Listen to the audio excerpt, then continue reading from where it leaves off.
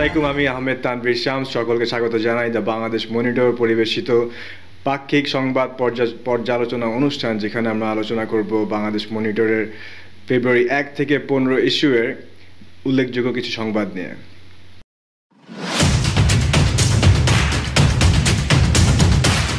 ঢাকা বিমানবন্দরে দ্বিতীয় রানওয়ে স্থাপনের উদ্যোগ, চলছে ব্যাপক উন্নয়ন কার্যক্রম। বাংলাদেশ বেসামরিক বিমান চলাচল কর্তৃপক্ষ ঢাকা বিমানবন্দরের সক্ষমতা ও নির্ভরযোগ্যতা বৃদ্ধির লক্ষ্যে দ্বিতীয় রানওয়ে স্থাপনের উদ্যোগ নিয়েছে। দ্য বাংলাদেশ মনিটরের সাথে একটি বিশেষ ইন্টারভিউতে জানিয়েছেন Bebichak chairman air vice marshal Mufidur Rahman. বিমানবন্দর সম্প্রসারণের কাজও এগিয়ে চলছে। প্রথম ধাপে বারোটি বোর্ডিং ব্রিজ সহ তৃতীয় টার্মিনালটি স্থাপন করা হচ্ছে এবং দ্বিতীয় ধাপে যুক্ত হবে আরও চোদ্দটি বোর্ডিং ব্রিজ। প্রথম ও দ্বিতীয় টার্মিনাল সংস্কারের কাজও চলবে একই সময়ে। তৃতীয় টার্মিনালটি চালু হলে ঢাকা বিমানবন্দর বছরে দু কোটির অধিক যাত্রীকে সেবা প্রদান করতে পারবে বলে জানিয়েছেন মুফিদুর রহমান। অতঃপর দ্বিতীয় ধাপে শুরু হবে নতুন প্যারালাল রানওয়ে। স্থাপনের কাজ জানিয়েছেন বেবিচক চেয়ারম্যান। এটি হবে একটি ডিপেন্ডেবল রানওয়ে অর্থাৎ একাধিক বিমান একই সাথে উড্ডয়ন বা অবতরণ করতে পারবে না, বরং একটি উড্ডয়নের সময় আরেকটি অবতরণ করতে পারবে। ফলে কোনো একটি রানওয়ে কোনো কারণে বাধাগ্রস্ত হলে আরেকটি সচল থাকবে। কিন্তু দ্বিতীয় রানওয়ে স্থাপনের লক্ষ্যে পরামর্শ পরিকল্পনার কাজ শুরু হবে দুই বছর পর, তৃতীয় টার্মিনালের কাজ সম্পন্ন হওয়ার পর। এছাড়া দেশের অন্যান্য সকল বিমানবন্দরে ব্যাপক উন্নয়নমূলক কার্যক্রম এগিয়ে চলছে। কক্সবাজার বিমানবন্দরকে দেশের চতুর্থ আন্তর্জাতিক বিমানবন্দরে পরিণত করার লক্ষ্যে শীঘ্রই শুরু হবে রানওয়ে সম্প্রসারণের কাজ। সৈয়দপুর বিমানবন্দরের রানওয়ে দশ হাজার ফিট সম্প্রসারণের কাজও হাতে নেওয়া হয়েছে।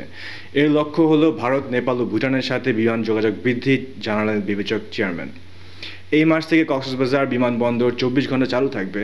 এ লক্ষ্যে বেবিচক কক্সবাজার বিমানবন্দরে স্থাপন করেছে ইনস্ট্রুমেন্ট ল্যান্ডিং সিস্টেম আইএলএস পরবর্তীতে সৈয়দপুর, যশোর রাজশাহী বিমানবন্দরগুলোকে চব্বিশ ঘণ্টা চালু রাখার লক্ষ্যে যুক্ত হবে এই আইএলএস তিনি আরও জানান, ওপেন টেন্ডারের মাধ্যমে বেবিচক ঢাকা বিমানবন্দরের তৃতীয় টার্মিনাল ও নতুন সম্প্রসারিত বিমানবন্দরগুলোর জন্য গ্রাউন্ড হ্যান্ডলার নিয়োগ করার সিদ্ধান্ত নিয়েছে। আজ থেকে ঢাকা দুবাই রুটে চলাচল শুরু করছে ইউএস বাংলা এয়ারলাইন্স। আজ সন্ধ্যা ছয়টা চল্লিশে ঢাকা বিমানবন্দর হতে মধ্যপ্রাচ্যের দুবাইয়ের উদ্দেশ্যে রওনা হবে দেশের বেসরকারি বিমান সংস্থা ইউএস বাংলার প্রথম ফ্লাইট।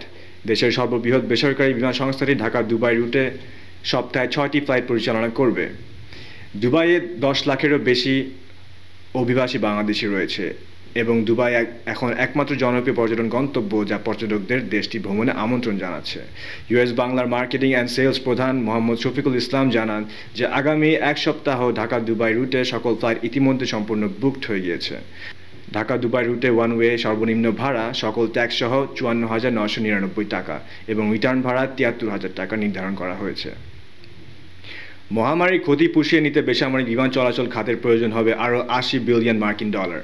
করোনা মহামারীর কারণে সৃষ্ট সংকট কাটিয়ে উঠতে বিশ্বের বিমান সংস্থাগুলোর প্রয়োজন হবে আরও সত্তর থেকে আশি বিলিয়ন মার্কিন ডলারের সরকারি সহায়তা, জানিয়েছেন ইন্টারন্যাশনাল এয়ার ট্রান্সপোর্ট অ্যাসোসিয়েশনের প্রধান আলেকজান্ডার দে জুনিয়াক, যা ইতিমধ্যে প্রাপ্ত একশো সত্তর বিলিয়ন মার্কিন ডলারের অতিরিক্ত।